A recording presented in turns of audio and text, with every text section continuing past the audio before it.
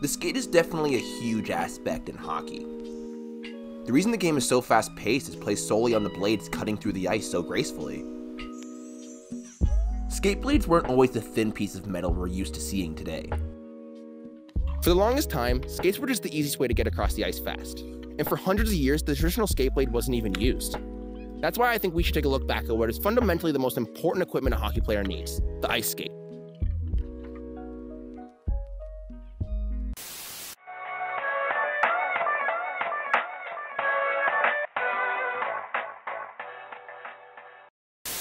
I said all your equipment's important, but none of it's more important than your skates. Make sure you take care of them, protect the blades, watch out for nicks, and make sure you dry your blades after every time you skate. The earliest ice skates that were developed can be traced back to southern Finland in about 3000 BCE, as a way for people to travel along the ice without using too much energy. The skate was crafted using large leg bones of cattle or deer, which they shaped into blades to wear on their feet. The bones were flat along the bottom, which meant the wearer could not push off with each foot the way we do today.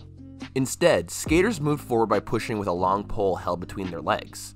Although turning was difficult, it was possible to go pretty fast. Definitely a lot faster than legging it. Bone skate blades gained traction throughout Europe over the next few centuries and continued to be used in the 20th century in a few places because they were so inexpensive and the materials were easy to find.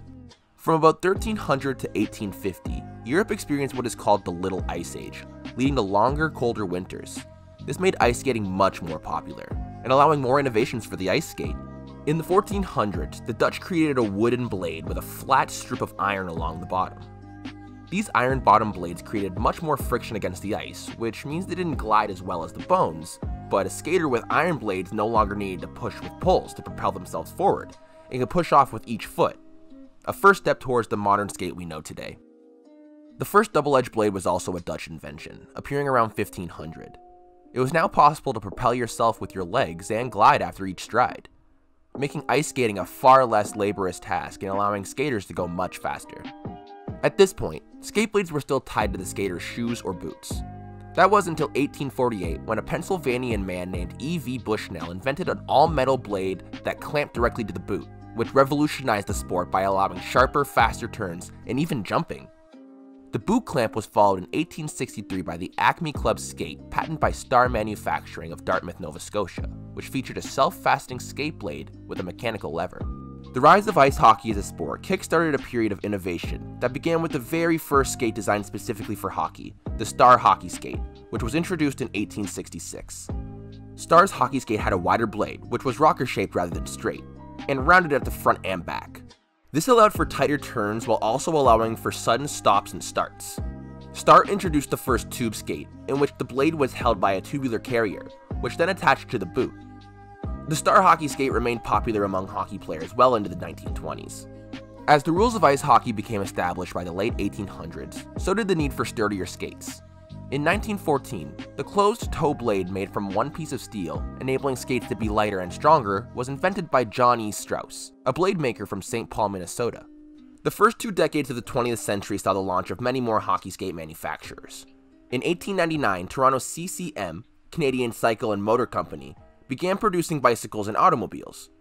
Looking for new businesses, they launched a line of ice skates in 1905. The CCM automobile line of ice skates got its name because the blades were made from metal left over from the manufacturing of Russell motor cars. That same year, a Canadian shoemaker named George Tackaberry built a pair of ice skates for his neighbor, a hockey defenseman named Joe Hall, who had complained that he couldn't find skates that could last a whole season.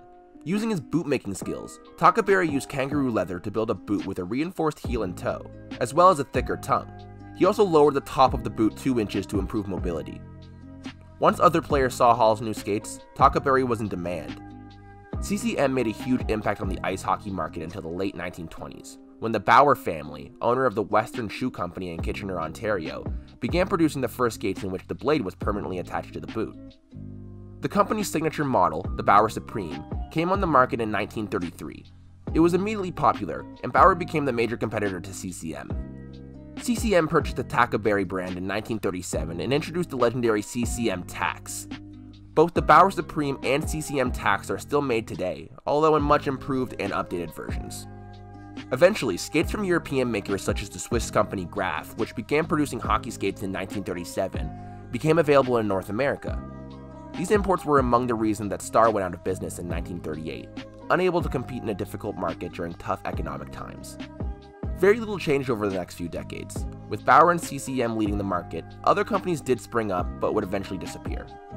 Hockey skates continued to be made with leather boots and tubular blades exclusively, the rise in popularity of hockey in the USA from the late 1960s through the 1970s, as well as the NHL going from the original 6 teams in 1967 to 21 teams in 1980, sparked an expansion of the market and a series of advancements in hockey skate technology. The 1970s saw the introduction of molded plastic skate boots, based on ski boot designs. Lange first introduced these models, featuring a hinged plastic boot and a foam liner. They were endorsed by NHL players including Phil Esposito, the skates forced the wearer to lean forward slightly, which helped them maintain a good hockey stance. But the plastic boots were quite heavy, and some players didn't like how they looked. The molded plastic boots concept was taken up in the 1980s by companies such as Micron and Bauer, whose turbo model was very popular. Bauer's amazing plastic Tuuk 2000 blade holders were released in 1976. They replaced the tubular blades, making skates lighter and allowing easier changing of blades. Within a few years, most manufacturers had gone to plastic holders as well. Bauer surged in popularity while CCM struggled, eventually going bankrupt in 1983. This was not the end of the CCM brand, though. The brief entry of sports giants, including Nike and Reebok, into the skate manufacturing landscape shifted many things. Nike purchased Bauer in 1995, then sold it in 2005. Bauer's parent company is now Peak Achievement Athletics, in 2016, Bauer acquired the company Easton Hockey Equipment, so if you're wondering where those guys fit in the story, it's around now. After its bankruptcy in the early 1980s, CCM was bought by Reebok in 2004.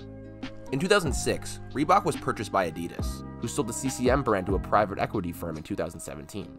When Adidas purchased Reebok in 2006, Reebok owned CCM, Tackaberry, Jofa, Heaton, Titan, and Koho, this made them the second biggest sports equipment manufacturer behind Nike. A lot of the ownership have changed since then, but that was a fun fact. Today, CCM and Bauer once again dominate the hockey skate market. The 1980s and 90s saw amazing improvements in the blade's coating, boot materials, and fit, and strategic placements of padding, but no real great leaps forward.